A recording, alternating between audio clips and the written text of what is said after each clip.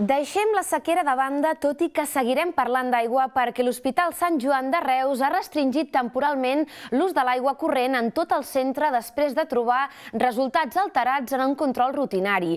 Segons apunta el diari de Tarragona, la mesura afecta tant a usuaris com a professionals de l'hospital i la, la previsió del tancament d'aixetes és d'uns 20 dies, tot i que es podria reduir aquest període si els nous controls confirmessin la seguretat de l'aigua.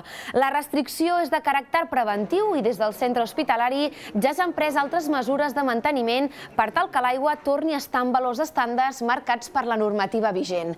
Per altra banda, el personal sanitari facilitarà material d'higiene als pacients mentre duri aquesta restricció.